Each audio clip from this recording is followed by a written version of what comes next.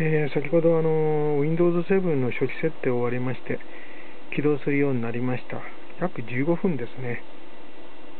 たったそれだけしかかかりませんでした。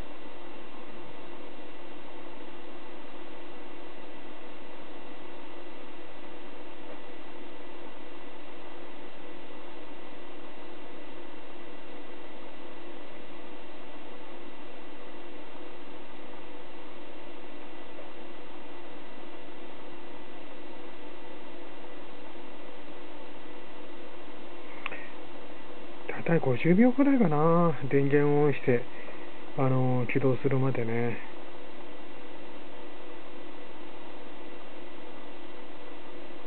はい、起動しました。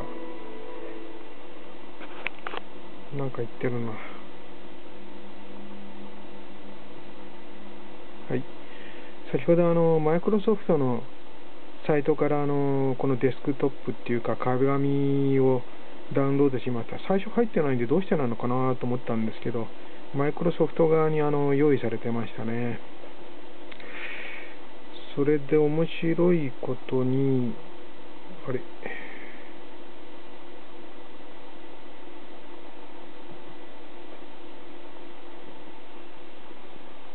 見えるかな？アドリア海のフラノって、えー、いうやつをこの英語キーボードで。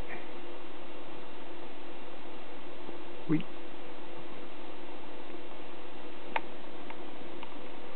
ちゃんとあの日本語入力システムが入ってるんですね。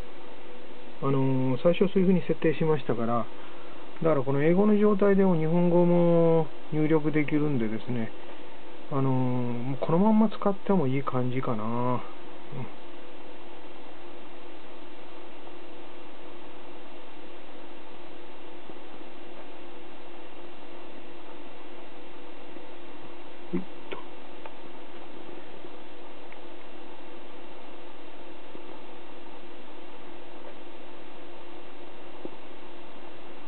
で、あの、MS じゃなくて、マイクロソフト、なんだろ、これ。あの、エクスプローラー8.0でもうすぐ動くますね。なんか変な設定しなくてもすぐ動いちゃったんでね、びっくりしました。まあ、このまんまでも使えますね。うん。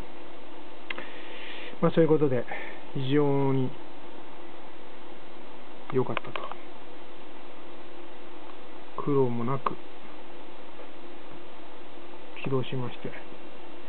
で壁紙はあの今モンスターになってますね。はいそれでは活用していきます。